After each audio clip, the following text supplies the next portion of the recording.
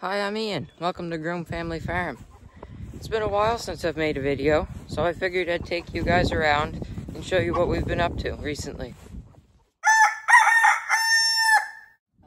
In here, this is what's left of the summer's meat birds that we've raised. We started off with these three pens, all full with 75 in each. They're 16 by 10. Now we're down to the last about 25 in this pen. These guys will be going today. It's their last day, and then we'll be all done with meat birds for the summer.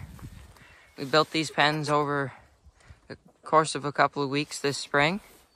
They worked very well for us this year. I'm gonna set up our butcher facility so we can finish off those last four, uh, 25 meat birds this evening, and then I'm gonna hook the haybine up to the Ford tractor. And if you were wondering, David Brown's not done yet. This is a project that we have to get finished very soon. We have the head put on it. Everything's ready to go on the motor. Just got to put the valve cover on. So now we got to put the flywheel on, clutch in, and slide the tractor back together.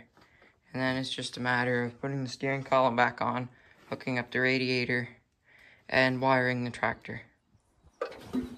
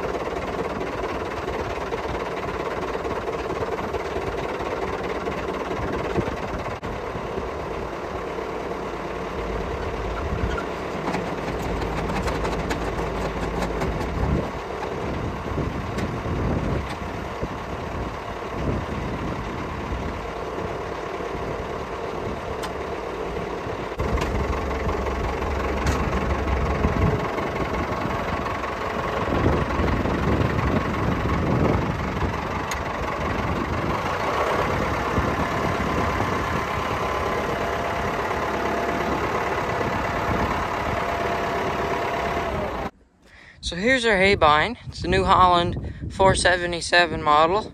It's got a seven foot cut. It's just about probably the worst shape of haybine you'd ever see. Rusted out. And it's got some pretty bad rollers that are missing quite a bit of the rubber. It's never broke down on us. It's always cut good. It hasn't always conditioned good since the rollers aren't the greatest. But it's what we're going to be using again this year. It's going to be our fourth year making hay this year. And I'm just going to give it a look over before we start mowing. Here's a little issue I found. Right here on our track. I don't know if you can see that. There's a little piece of metal of the track that's bent up. So bearings can come right out because that's bent out. I'm gonna have to bend that back in. Well, two hours has passed, and I think I got the haybine ready to mow. So we're gonna make a start. We're gonna be heading up to the big hill behind me. Now I'm gonna unfold the mower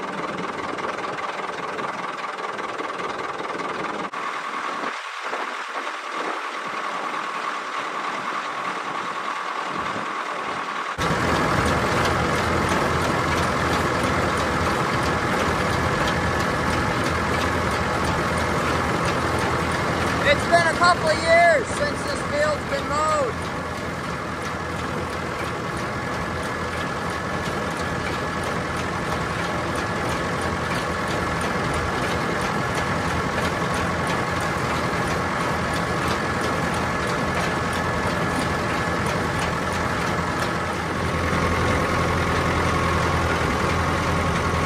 It's not great grass that's growing in here, that's for sure.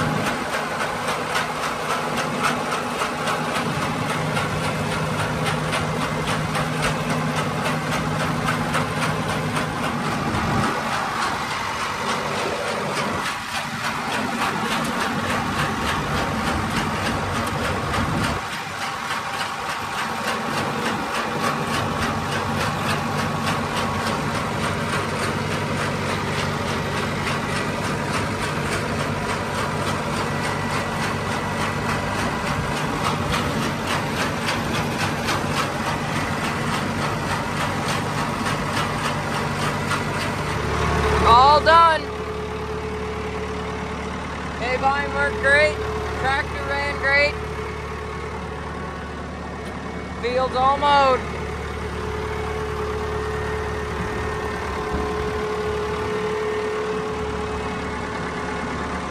So that's going to be it for this video. You can probably hear the tractor running in the background. Tractor ran great. Haybine worked good. Uh, the Haybine reel, the track that it runs on is really noisy as you can probably tell from the videos. That's not in the greatest shape. It's kind of banged up and the bearings aren't the greatest. So that's making some noise. But it's do you, how much money do you want to sink into something that's got the rust that it does and a bad set of rollers. So we're just gonna keep using it the way it is. Anyway, that's gonna be it for this video. The hill is mowed now, which is good. It hasn't been done in two or three years now, and there were baby spruce trees and alders starting to grow up in it, and you can't really have that because you'll lose your field pretty quick if you don't keep it mowed. We're gonna end up plowing and disking and reseeding that field uh, either this fall or next spring we did end up making a couple purchases over the winter to help us do that, which I'll show you So now. here we have an Allis-Chalmers four bottom semi-mount plow. This is a nice plow, the points are good.